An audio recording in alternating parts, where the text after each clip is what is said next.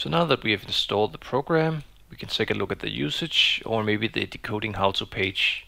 These pages are useful for getting to learn how, how to use the programs and also how to do the decoding. In this case we will use decode, livemon, capture and in the future we may use channelize and maybe scanner. But channelize, for channelize we need to capture a wideband C file or capture file. And in that case we need a better software defined radio. So let's just minimize this. And the first thing that we want to do is that we want to, for example, see if we can capture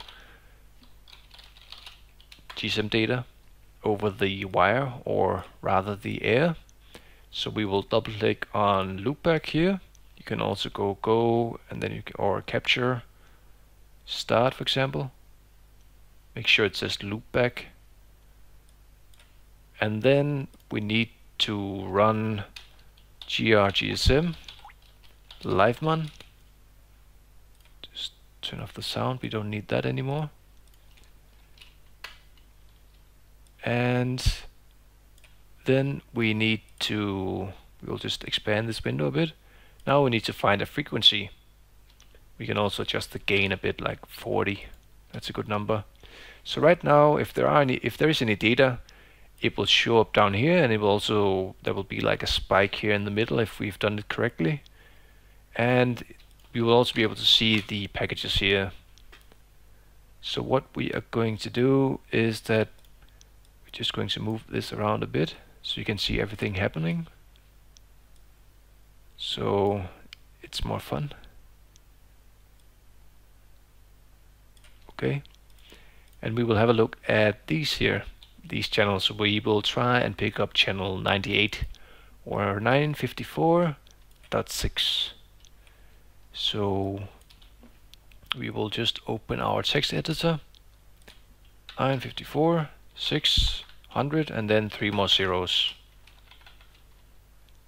So that's basically the number that you have over here, the full number in hertz, or the frequency in hertz, not kilohertz, not megahertz, just hertz.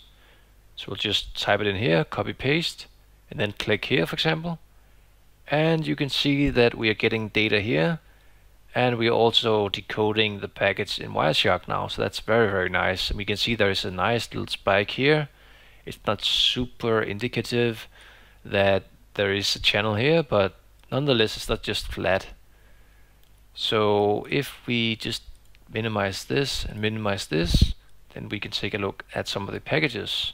And this will go on forever until you in, until you tell it to stop sniffing. So we'll just stop capturing and then we can look at the packages. So these first four here they're not super important but from GSMTAP header and down that's what we want to look at. So we can look at the frame number for example the subslot and this is the more interesting stuff.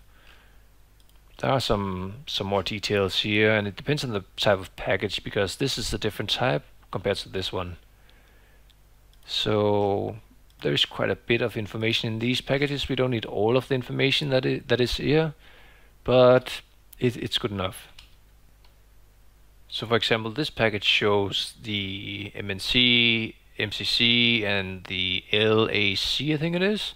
So that can be used to look up the approximate area from where the BTS or antenna is, the transmitter. And here we have some more information about the network.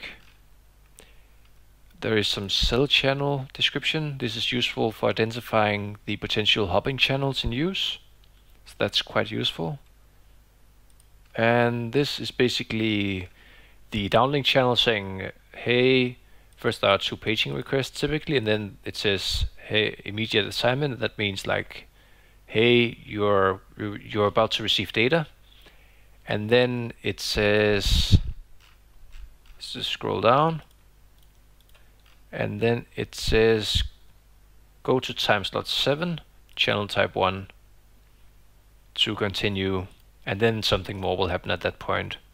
Something more being that it will say that what kind of encryption is being used and and more stuff.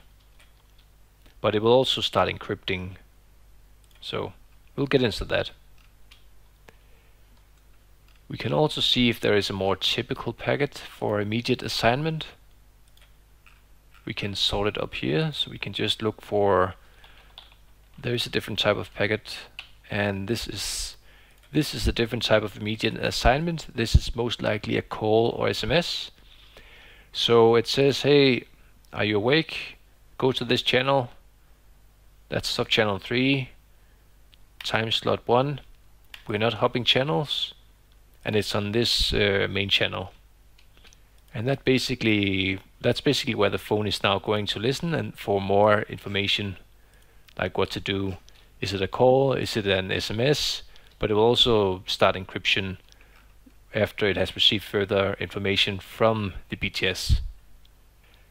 So that's pretty much how you can sniff the basic downstream and this is all public information so there's nothing sensitive or secret about it. This is something that your mobile phone is listening to all the time without you noticing.